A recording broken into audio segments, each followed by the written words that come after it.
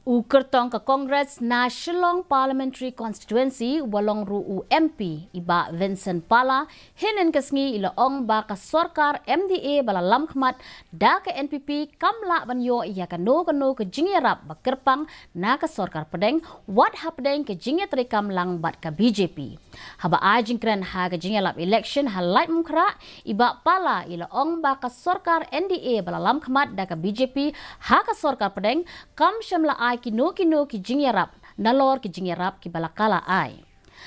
Shwa ya kene iba pala ila maham ya ka jingtmu barat ba.